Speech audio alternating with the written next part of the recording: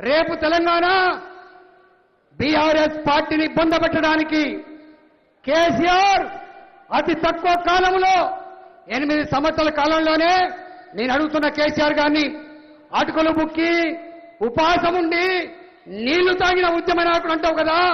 మరి ఎనిమిది సంవత్సరాల కాలంలోనే లక్షల కోట్ల రూపాయల డబ్బు ఎవడి సొమ్ము ఎక్కడి నుంచి వచ్చిందో చెప్పగలమని చెప్పి ఆనాడు చెప్పిన మాట ఏంటి నాకున్న కమిట్మెంట్ నాకున్న యావా వేరే వాళ్ళకుంటుందా అని చెప్పి చెప్పినావు.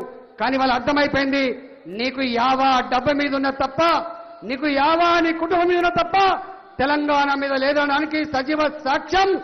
ఎనిమిది సంవత్సరాల కాలంలోనే తెలంగాణ ప్రజలందరూ కూడా ఇలా నేను ఎప్పుడు ఎన్నికలు వస్తాయా? బొంద పెడదామని చెప్పి ఎదురుతుంది సజీవ సాక్ష్యం. ఇవాళ ఎవరు సుఖంగా ఉన్నారు?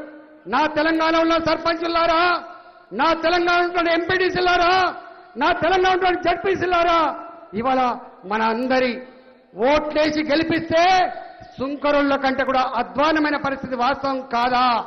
ప్రజాక్షేత్రంలో ఇవాళ దోషిగా నిలబెట్టబడ్డ వాస్తవం కాదా?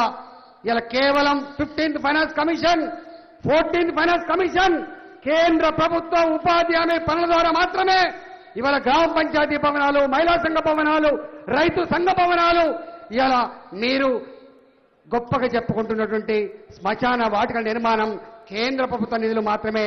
రాష్ట్ర ప్రభుత్వం రాష్ట్ర ప్రభుత్వం ఆనాడు స్థానిక సంస్థలు గొప్పగా ఎదిగితేనే గొప్పగా ఉంటేనే రాష్ట్రం బాగుపడిందని చెప్పిన మీరు వాటినన్నిటి కూడా నిర్వీర్యం చేసి స్థానిక సంస్థల్ని ఎమ్మెల్యేలని ఇవాళ ఒక బానిసల్లాగా మార్చుకున్నమాట వాస్తవం కాదా? తెలంగాణ సర్పంచులారా నోరు తిప్పండి. తెలంగాణ ఎంపీటీసీలు జడ్పీసీలారా ఎంపీపీలారా నోరు విప్పని చెప్పి నేను కోరుతా ఉన్నాం. ఇవాళ ఎమ్మెల్యేలు కూడా ఫస్ట్ టైం చూస్తా ఉన్నాం. ఏ పార్టీ ఉన్నప్పటికీ కూడా ఎమ్మెల్యేలుగా మంత్రులుగా కలిసి మెలిసి అభివృద్ధి చేసుకునే ఆస్కారం ఉండే. మీరు చూస్తా ఉన్నారు. ఒక పార్టీ ముఖం ఇంకొక పార్టీ చూసే పరిస్థితి లేదు. ప్రజాస్వామ్యాన్ని అపహాస్యం చేసి పార్టీల మధ్య చిచ్చు పెట్టి ఇనుప కంచెలు పెట్టి ఇవాళ తెలంగాణ రాష్ట్రంలో పార్టీలు ఎమ్మెల్యేలు మంత్రులకు ఒక దరఖాస్తు ఇచ్చుకునే పరిస్థితి లేకుండా చేసి ఎనిమిది సంవత్సరాల కాలంలో ప్రజల్ని కలవకుండా ప్రగతి భవన్లో పడుకున్న ముఖ్యమంత్రి ఫామ్ హౌస్లో పడుకున్న ముఖ్యమంత్రి నేను అడుగుతా ఉన్నా ఈ రాష్ట్రంలో నిరుద్యోగ యువత ఆత్మహత్య చేసుకున్న మాట వాస్తవం కదా? ఈ గ్రామాలలో వీఆర్ఏలు ఆత్మహత్య చేసుకున్నారు. ఈ గ్రామాలలో అనేక మంది ఆత్మహత్య చేసుకుంటా ఉన్నారు. ఆర్టీసీ కార్మికులు కావచ్చు వాళ్ళు రెవెన్యూ ఉద్యోగులు కావచ్చు అది ఏ డిపార్ట్మెంట్ అయినా కావచ్చు అందరికందరూ ఒకటే భయం నీడలో బతుకుతున్నారు తప్ప ఎవ్వరు కూడా తృప్తి లేదు. నీ ఆయామలో నీ ఇలాకాలో ఏ వర్గము ఏ కులం ప్రజలు కూడా ఇలా సుఖంగా లేరు. మొన్న ఈ గడ్డ మీద మానేరు ఉన్నది ఇక్కడ. గీ గీ లోవర్ మానేరులో మత్స్యకారుల కళ్ళల్లో మట్టి కొట్టాలని హ్యాంగింగ్ సోలార్ పవర్ అని చెప్పి అక్కడ తెచ్చే ప్రయత్నం చేస్తే ఖబర్దార్ ఖబర్దార్ హెచ్చరిస్తా ఉన్నాం.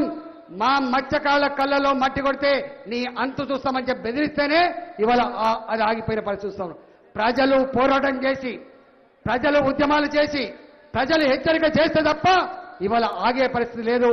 ఇవాళ నేను ఒక్కటే కోరుతా ఉన్నా ఇంతకుముందు మా ప్రదీప్ గారు చెప్పినట్టుగా తెలంగాణ గడ్డ అణిచివేతకు లొంగేది కాదు. ఇది ఏటికి ఎదిరిదే గడ్డ కాబట్టి రేపు తెలంగాణ సమాజానికి తెలంగాణ ప్రజానికానికి మళ్ళీ దిక్సూచిలాగా నిలిచే జిల్లా చైతన్యాన్ని నింపే జిల్లా జిల్లా ధైర్యాన్ని సమకూర్చే జిల్లా కరీంనగరే కాబట్టి ఆ కరీంనగర్ ప్రజలారా మీరందరూ కూడా రాబోయే కాలంలో భారతీయ జనతా పార్టీని గెలిపించడంలో కేసీఆర్ పెట్టిన తెలంగాణ ప్రజానికానికి బంధం తెంచుకొని ఏ బీఆర్ఎస్ పార్టీని పెట్టిండో ఆ బీఆర్ఎస్ పార్టీ భరతం పెట్టే రోజు దగ్గరలో ఉంది. ఆ కర్తవ్యం భారతీయ జనతా పార్టీ కార్యకర్తల మీద నాయకుల మీద మాత్రమే కాదు యావత్ తెలంగాణ ప్రజల మీద ఉందని చెప్పి మనవి చేస్తూ ఆ కర్తవ్యంలో ఇవాళ పాదయాత్ర ఈ ముగింపు సందర్భంగా ఆ దీక్ష తీసుకొని ఆ చైతన్యాన్ని ఆ శంకరాన్ని పూరించాలని చెప్పి మనవి చేస్తూ సెలవు తీసుకున్నా జై తెలంగాణ జై తెలంగాణ భారత్ మాతాకి నరేంద్ర మోడీ గారి నాయకత్వం.